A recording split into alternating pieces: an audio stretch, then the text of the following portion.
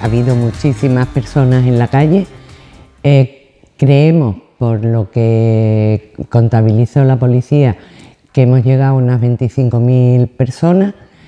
personas que, se han quedado, que se han quedado en, la calle para ver la cabalgata, que se tuvo que adelantar a una hora y, bueno, que al final a petición de los ciudadanos mm, el alcalde ha decidido que el año que viene se mantenga a las 5 de la tarde,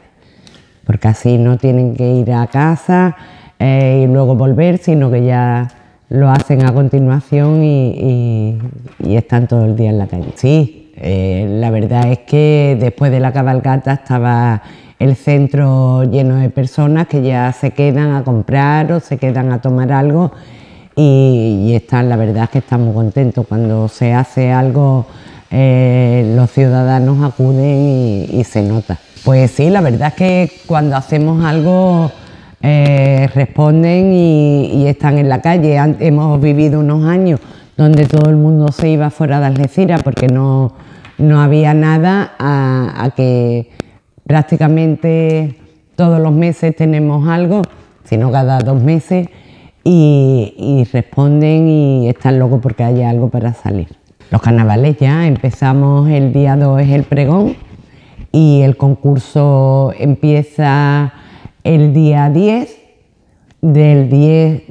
el 14 es el día de descanso, el 15 es la final y el 16 es la cabalgata, eh, las actividades porque es el carnaval en la calle 16, 17 y 18.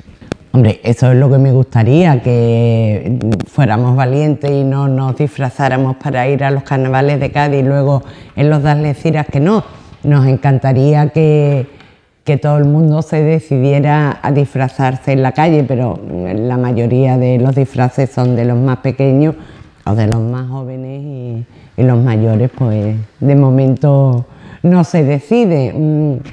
Si alguien tiene una idea para recuperarlo, estamos encantados de oírla para poder hacerlo. Pues sí, ya llevamos desde septiembre del año pasado trabajando para el tema de la feria, porque mm, se deja todo para última hora y tenemos que saber los sitios libres de las casetas que nos van a montar. Tenemos peticiones de, que, de casetas nuevas que no la podemos dar hasta que no hagamos eh, el recuento y veamos los sitios que nos quedan libres, porque todo el mundo quiere ir a la misma zona. Tenemos zona libre, pero ahí nadie quiere ir a, montar su caseta. Y estamos trabajando este año especialmente porque nos va a coger la normativa de la nueva ley de contratos, que hay que hacerlo todo con mucha antelación. Ahora mismo están los técnicos eh, reunidos para empezar ya a hacer los contratos que tenemos que hacer, porque pasa todo por, por contratos públicos, con lo cual sin parar. Bueno, pues yo creo que ya está todo el mundo acostumbrado el que el miércoles sea festivo es una cosa que valoran mucho todas las personas que están trabajando y todos los, pequeños eh, comercios y, sobre todo el personal porque pueden disfrutar del martes por la tarde, el miércoles entero y, y disfrutan de la feria. Luego hay otros problemas que eso van a ser más difíciles de solucionar pero ya estamos viendo que hace varios años que el formato de la feria está cambiando, porque ya no es como hace unos años que se iba a mediodía y se quedaba ya hasta la hora de, marcharse. Ahora se va sobre las seis y media o las siete a la feria y no a mediodía pues no acude el público que acudía antes. Yo también lo veo lógico porque es que hay días que no se puede estar del calor que hace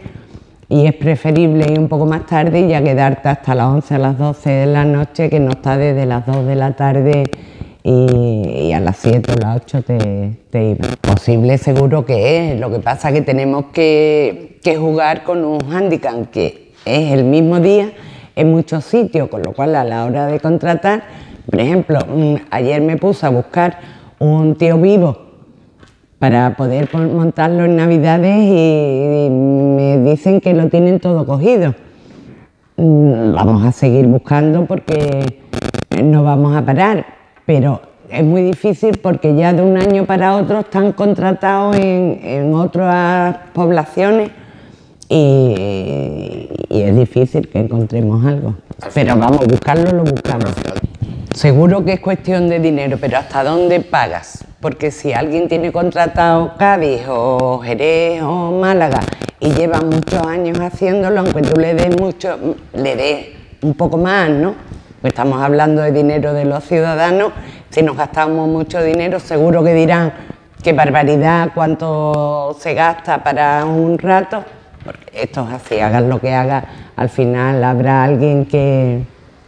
que tenga que decir algo, ¿no? que tenga que tener su minuto de gloria sin, sin pensar el por qué o, porque la ignorancia es muy atrevida y hablamos sin, sin preocuparnos. Aquí no viene nadie a preguntarme, el que venga yo le respondo el porqué de cosas determinadas, pero ya te digo que lo intentamos. Si hay alguien que tiene un compromiso de muchos años, pues mm, no quiere dejarlos tirados porque se concentra en el mismo día pues, en muchísimas poblaciones que lo han hecho durante años y que yo entiendo que no lo dejen tirados. Porque si algo contratamos nosotros y nos dejaran tirados, pues nos sentaría mal también. Estamos hablando de que cualquier actividad que, se haga no es solo de ferias y fiestas. Ferias y fiestas por sí no sería capaz de hacer nada, ¿no?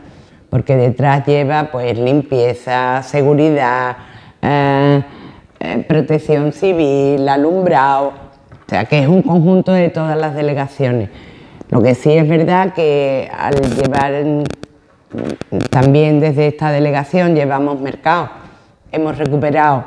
algunas cosas en el mercado.